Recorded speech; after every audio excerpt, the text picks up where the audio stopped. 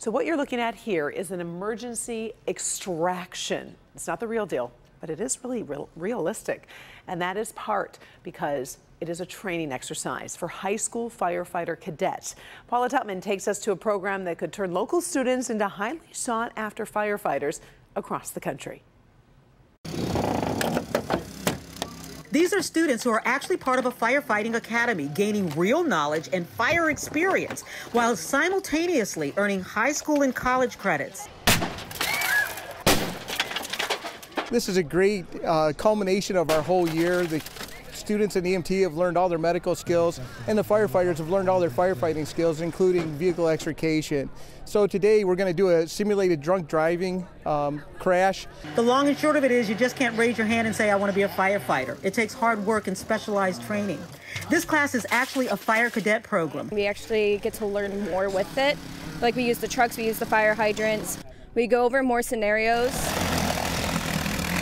We can also like uh, simulate plane fire, house fires. The students will graduate with EMT, Firefighter 1, Firefighter 2, and Hazardous Materials Operations training. Now, if you don't know what all of those credentials mean, just ask any fire chief out there. Hungry for young, strong, eager bodies, interested in the fire service. Like Chief Brian Tyrell, the fire chief for the Washington Township Fire Department in northern Macomb County. We do want to try to recruit that those younger folks into this business so that we can sustain them and grow them over a 20, 25 year career. That's the vision and that's the goal.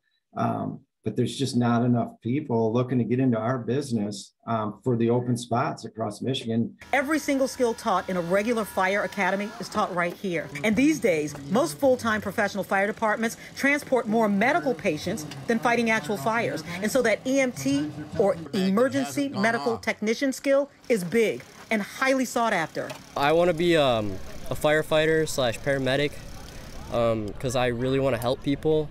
Uh, because when I help people, it fulfills me. I'm probably going to be working at Westland Fire Department right after school. And because this exhibition also served as real life lessons in what can happen when you drink and drive, not only were students showing off what they learned, but they were teaching their peers. I'm going to take that this one day could happen to me if I make the wrong decision of drinking and driving.